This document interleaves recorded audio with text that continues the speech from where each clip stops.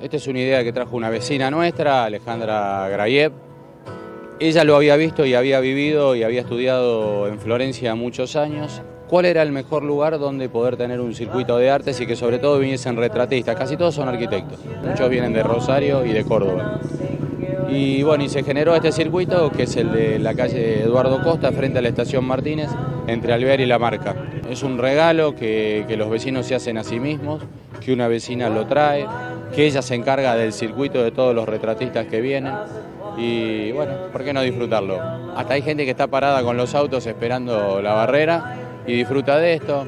Uno que toca, disfrutamos de la música y además es, una, es un lugar de encuentro entre el artista y el público y además un lugar donde, donde se pueden adquirir los retratos para, para aquellos que eso les, les, interese, les cuadre. Me parece fantástico porque la gente no entra a las galerías de arte, ¿sabes?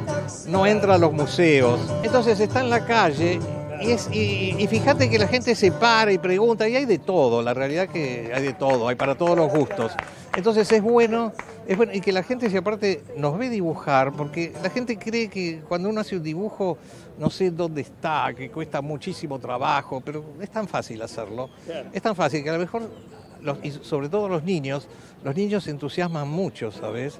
Y les encanta, entonces es muy bueno. Siempre que uno dibuja en la calle, eh, primero que no tiene precio dibujar a plenar, este, es fantástico.